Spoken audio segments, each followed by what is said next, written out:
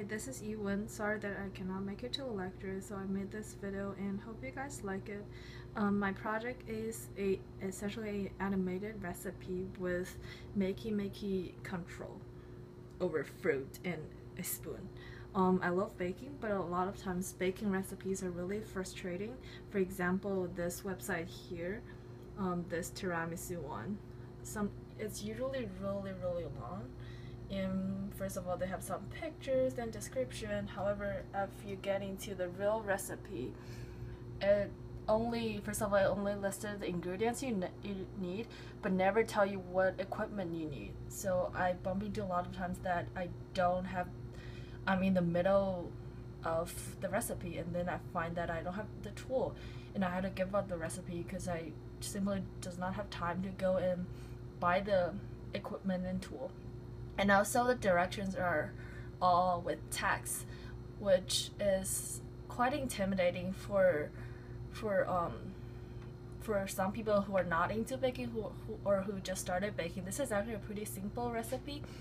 I've seen some recipes that are three or four pages long. And for this recipe if i am in the middle step it's hard for me to spot where i am and what the next step is if i just look at this um, these all these paragraphs. So what I did is, and also when I'm baking, my hands are usually really really dirty, like this. Um, I I don't really want it to use it to touch my computer because it will get flour onto the computer, but um, I don't have other options, so I use Makey Makey to control the up, down, left, and right arrow. Um, that's why I can better control the recipe. And with a spoon here because I don't um, the spoon is connected to the ground. So I don't have to um, hold the ground while touching the fruit. It's and what I did is here. So tiramisu in a cup. And if you want to go to the first step the celery represents right arrow. And it will show you the tools you need. All the tools including the tools that you need for your for your um, baked product. In this case is tiramisu.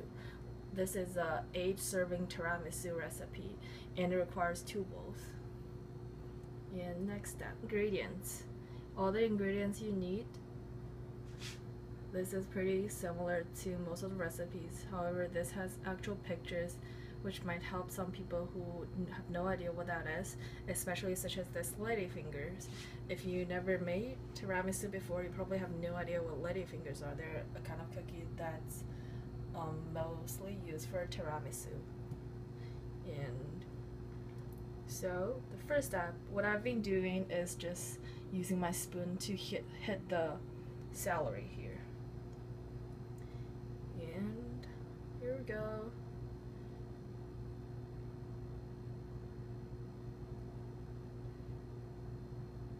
And then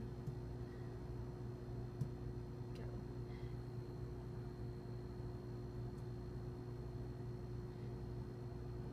Add sugar. You mix it. If you happen to forget the next step, all you did was um, this cabbage here is the left arrow. All I did was hit this and go back. You can go back how many, no matter how many steps you want to, and then go forward. Sorry, I went back too much, so we have to do this again. Mm add egg, add sugar, mix it, then add mascarpone cheese, vanilla extract, mix it again. And if you notice, this says second bowl. The previous one with uh, whipping cream says first bowl. So you have two bowls here. That is also mentioned in the tools section so that you are aware of you need two bowls. Otherwise, if you finish one bowl and if you figure you don't have a second bowl, you have to probably dispose the thing you made earlier. And yeah, more mixing. And how to assemble the tiramisu. Quick dip, going there. Better. Lady fingers. And one more layer. So here you got your tiramisu ready and it says cup times 8 so you need 8 make 8 of this. And let's go to the next step. And you got 8 of your tiramisu and then they go into the fridge refrigerate for 4 hours overnight. Then next step. Then this is a cocoa powder with sift and if you can see it says dusting cocoa powder on top of it. And enjoy